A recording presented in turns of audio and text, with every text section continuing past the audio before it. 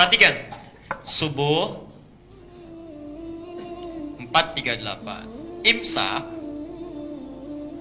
428. Saya mau tanya dulu sebentar. Imsak berarti kan belum subuh ya? Belum karena masih 428. Berarti kalau imsak masih boleh makan nggak? Sudah salah kan? Saya ulang. Kalau subuh masih boleh makan? Tidak. Kalau imsak? Tuh, salah lagi. Ayo lihat sini, ini kerancuan yang paling luar biasa. Perhatikan. Namanya dalam fikih itu al-akhta asy kesalahan yang sudah meluas. Ya, sehingga jadi kaprah, salah dan kaprah. Ibu dan bapak, imsak itu, imsak. Itu nama lain dari puasa. Silakan lihat dari kitab fikih mana pun. Yang paling tebal sampai yang paling tipis bahasanya begini. As-sawmu wasyamu fil lughati al-imsaku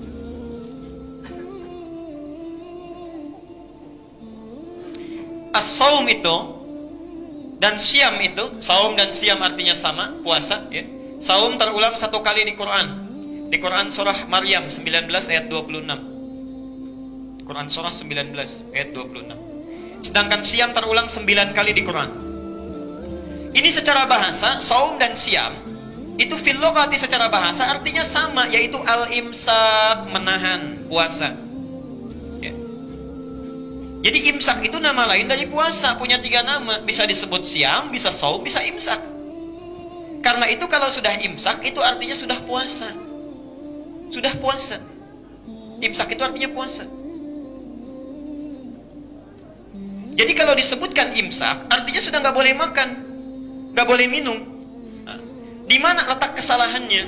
Letak kesalahannya menempatkan istilah imsak bukan pada tempatnya. Seharusnya imsak itu waktunya sama dengan adzan subuh. Ini awalnya.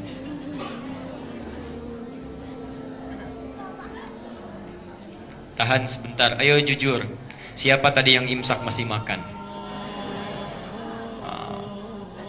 Kalau tadi belum batal karena belum adzan, Cuma sekarang kita punya ilmunya tempatkan tempat sesuai dengan keadaannya, ya. Di imsak kalau nanti bikin kalender lagi, imsaknya itu sama dengan subuh. Yang sebelum subuh apa namanya? Itu tanbihun dalam bahasa Arab. Tanbih peringatan. Atau zikrun boleh tanbihun atau zikrun. Yang lebih tepat tanbih, ya, peringatan. Pengingat. Pengingat. Ada orang makan sedang enak-enaknya tidak tiba azan. Allahu Akbar, Allahu Akbar. Ditumpahkan, kaget. Ya, luar biasa. Minum nggak jadi. Supaya tidak kejadian lagi diingatkan sejak zaman Nabi. Karena itu khusus Ramadan itu nanti yang azan dua orang. Azan pertamanya itu Bilal. Ya, Bilal diminta azan. Kalau Bilal sudah azan, maka nanti, perhatikan, Abdullah bin Mas'ud akan diminta baca 50 ayat Quran. Kalau Abdullah bin Mas'ud sudah baca 50 ayat Quran, Bilal sudah azan, orang-orang tahu, oh ini waktunya sebentar lagi akan fajar. Tanbihun, tanbihun, tanbihun, peringatan, peringatan, peringatan.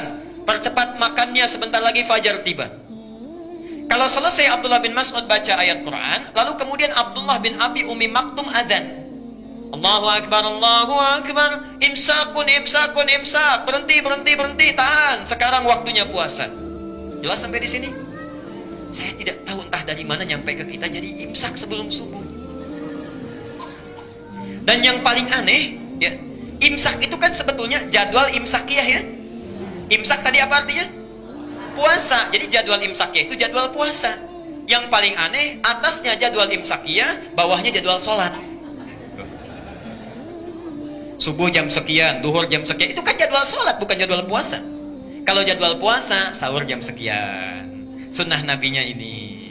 Kemudian puasa jam sekian sunnah nabinya ini. Amalannya itu itu jadwal imsak ya jadi kalau yang ditulis di kalender-kalender umumnya itu jadwal sholat ya bukan jadwal imsak.